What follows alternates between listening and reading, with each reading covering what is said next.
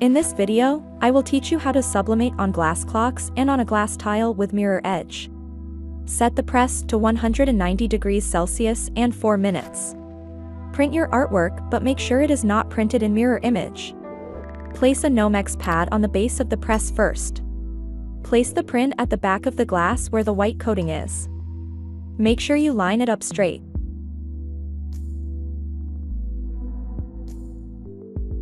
Place the print with the glass on the Nomex pad, make sure the print is at the bottom. Secure with heat tape.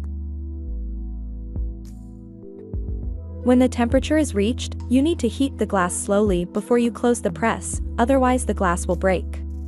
To do so, hold the press element close to the product, for a minute or two, without touching the glass with the element.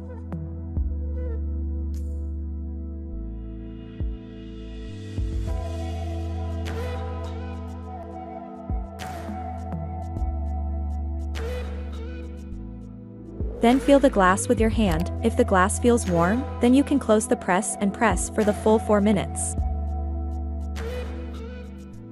You will use soft pressure.